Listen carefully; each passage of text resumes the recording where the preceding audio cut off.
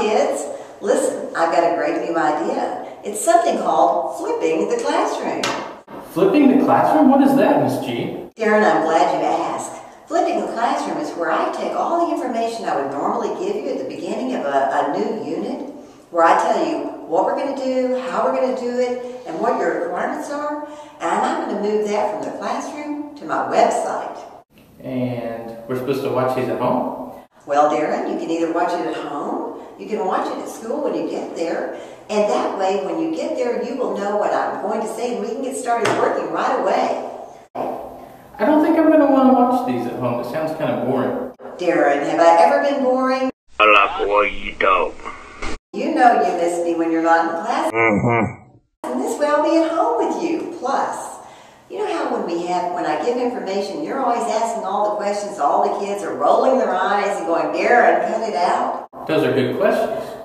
They may be good questions, but not everyone wants to hear your questions. So here's the good news. When you're at home or whenever you decide to look at this, you can just hit rewind and you can listen to my uh, my information again. And that way you won't have to ask the questions during class and everybody will be happy.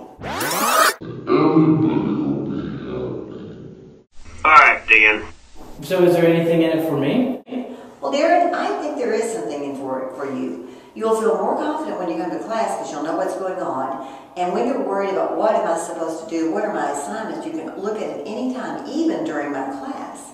And you won't be having to worry about if I've done everything or when it's due, because I will tell you. And these lectures are only three to five minutes long, Aaron. Wow. That's it? That's it. Now, you may say to me, you're not going to listen, but let me tell you a good reason to listen, Aaron. If you listen, sometime during the semester, I'm going to mention every single person in all my classes.